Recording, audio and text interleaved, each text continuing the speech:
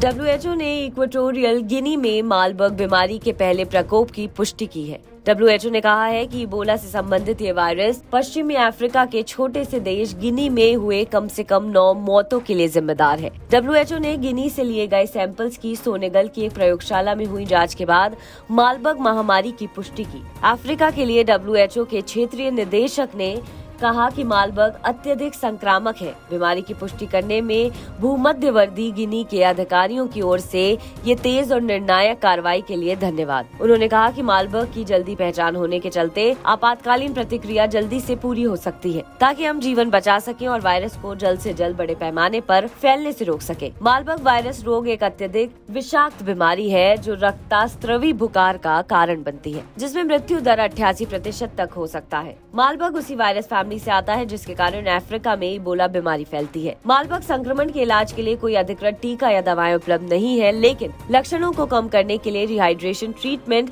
जीवित रहने के लिए संभावना में सुधार हो सकता है।